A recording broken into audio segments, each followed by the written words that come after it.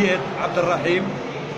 آه، والله العظيم يعني هذه الجمعية يعني والله نشكرها يعني الشكر الجزيل ويعني درت لهم واحد الحاجة يعني استفاده باهيه هذيك على السباعه باش يضيفوا لهم شوية على رواحهم.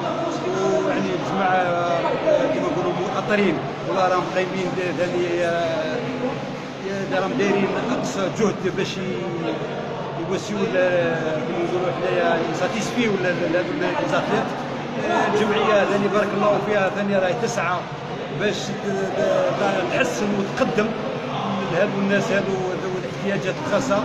والله العظيم عندكم أجر عند ربي وشكرا وخاصة نشكروا مدير المصباح آه، أبو بكر شنان اللي أعطاهم هذه ثاني فرصة باش عاونهم يعني جزاه الله خير.